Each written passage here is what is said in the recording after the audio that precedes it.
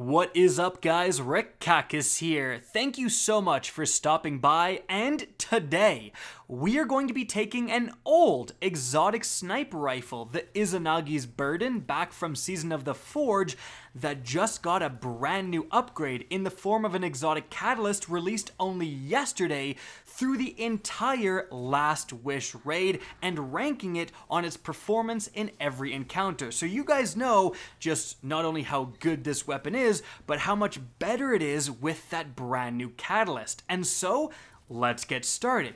And first things first, let's take a look at the Izanagi's Burden. It has an exotic intrinsic perk called Honed Edge. Holding reload consumes the magazine and loads around with additional range and damage. And that's actually it for unique perks, so let's talk about the Catalyst. Increases the damage bonus of Honed Edge when 4 bullets are consumed. So, just how much of a damage bonus does this catalyst provide? Well, I did some testing, and non-masterworked, I was able to do 12,049 damage for a headshot. I put on the catalyst, make it masterworked, headshot the same exact enemy, and 14,458 damage. That is an increase of exactly 20%. So your damage output is going to increase by 20% as long as you're getting honed edge times 4, as long as you're consuming 4 rounds with those extra powerful reloads. Well, that's great, but how do you get this catalyst? Well, you have to complete the Heroic Menagerie, which released yesterday. I've done a guide, it's linked up above, and if you have a fully upgraded chalice, when you open the Heroic Menagerie chest at the end, you will 100% get this exotic catalyst. But you're gonna have to get around 500 kills with the burden to upgrade this catalyst. How do you do that the most efficient way? I've seen entire videos on this, so drop a like if you're happy I'm putting three videos in one, basically. Well, all you gotta do is load up the Whisper mission if you have access to it, and then go into the green room, drop down, and there's un limited spawning shadow thralls here. So you can just kill to your heart's content. You can make things go even faster if you have a hunter with tether, because you can tether enemies, shoot one, kill a bunch of them. But to be honest, there's so many Shadow Thralls that farming this with any class will only take around 30-ish minutes to get it completely done.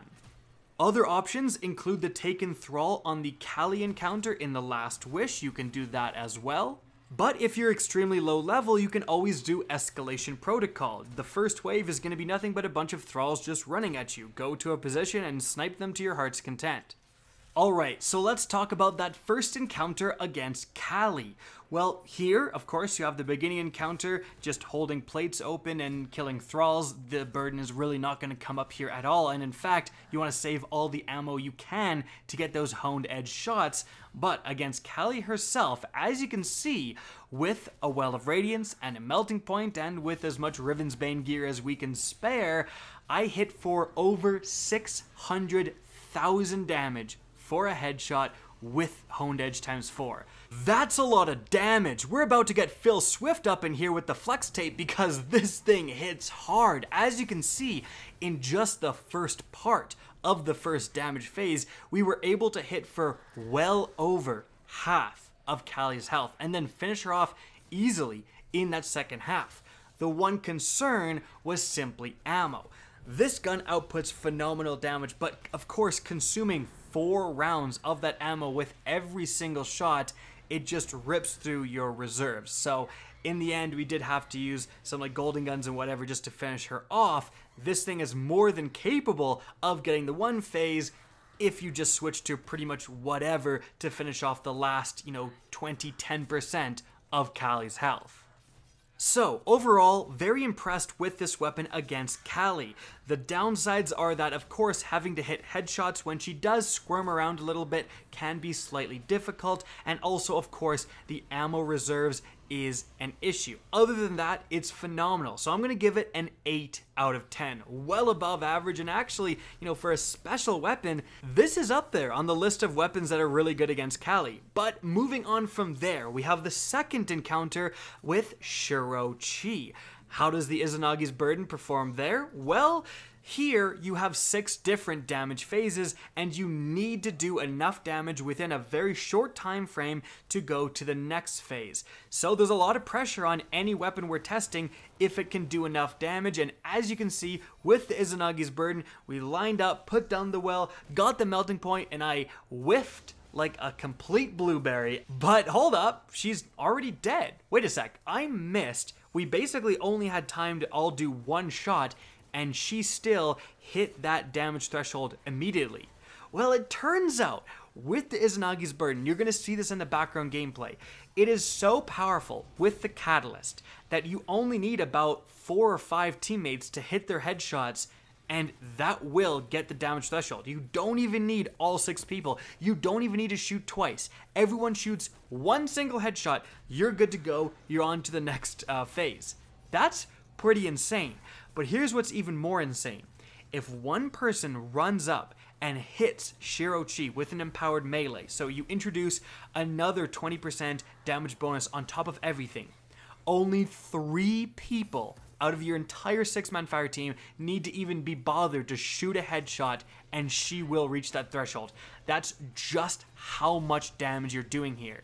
In fact, on the final phase, I did get empowered melee and then got a shot off, and I did 792,000 damage. So basically 800,000 damage for a single headshot. Now, of course, there is a whole other portion of this encounter, and that is dealing with quite a lot of ads. And although you could headshot the crap out of the Taken Knights and a couple of ogres, it's really not at its best against the ads. However, that damage can't be ignored, and overall, this weapon gets a 9 out of 10. Extremely impressed with it against Shuro Chi. But it's time to move on, and the next encounter is an interesting one. This is one big damage phase, and we are going for the kill. We are trying to kill Morgeth, aka Swolgaroth, within one single damage phase. This is a big test and a big show of a weapon's prowess. If it struggles here, it probably just doesn't have the damage output that you require for most activities. So, the first part of this encounter is again against ads, and again, it's fine if you have some extra special lying around. You can honed edge shot uh, the Eyes of Riven or the other yellow bar guys that spawn, sometimes the ogres as well. Not really too concerned there. How is it face in the damage phase? Well, as you can see, it does shred. We're not reaching as high of numbers as we did before, but with Melting Point, 300,000 damage for a shot, and then as it goes away, 200,000 damage every single shot. And although I've seen Morgeth melted a little bit quicker, we had absolutely no problem killing this guy. Like, no problems whatsoever. We were able to one phase him easily. And therefore, again, very impressed by this weapon. I think it gets another 9 out of 10. Okay, now moving on from there, the next encounter is very different than the other three. We have the Vault encounter, and here, there's no boss DPS. It's just staying alive, killing ads, and most importantly, slaying knights. Those are going to be your most powerful enemies, and sometimes Eyes of Riven. So, how does it do here? Well, against the Eyes of Riven, it's actually not great, and that's because they have shields, and this is a kinetic weapon, so you really can't get those precision shots right off the bat a lot of the time. It's okay, like it does a lot of damage, and if you do lower the shield first, then you can use this weapon to finish them off, no problem, but that seems like a lot of work, to be honest. The real question, however, is how does it fare against the Knights? And as you can see, with the Catalyst, the honed edge shot almost kills them. Like, they are absolute with one, just one headshot from this Masterwork Burden. And that means that it, with the introduction of pretty much any increase in damage, so if you put down a well, if you put down an empowering rift, you can one shot kill the knights with a honed edge shot. Or you don't have to go to that much trouble, you just honed edge shot them, almost kill them, and then throw a grenade, finish them off with primary, melee them a couple times. Like you're doing so much damage and leaving them with such little health that pretty much anything, you can spit on them or breathe on them and those knights will die. And that's actually really good for this weapon. Now, the slight downside is that it's not necessarily as easy to use as other weapons. Like, hitting your headshots on the knights when they're moving around and, and actually can teleport, like through time and space. So you go to shoot and then they suddenly teleport behind you or whatever. And also, you got to time it right when they come out of the fog. So often when they come out of the like fog and you're defending your plate, they're going to be really close range, which this has kind of a further zoom. So that can be slightly problematic. My point is, other things like shotguns and lock-on rocket launchers and stuff that you can turn your brain off and still hit these enemies, this will require you to pay a little bit more attention. So that's a slight downside there. But overall, it just outputs so much damage. I'm still super impressed with it. Honestly, if you're a warlock with empowering rifts and you can just one-shot all the knights, that's actually a very viable thing to do. So overall, I'm to give this weapon an 8 out of 10 in the vault. But we do have to move on from there to what is basically the final DPS check and the biggest DPS check against Riven. You know, we testing damage, we going for the cheese.